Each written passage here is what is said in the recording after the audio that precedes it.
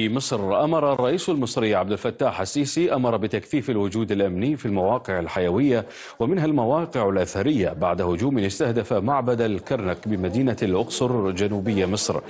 وكان مهاجم قد فجر نفسه قرب معبد الكرنك وشريكان له أصيبا في اشتباك مع قوات الأمن في أثناء محاولتهما اقتحام المعبد.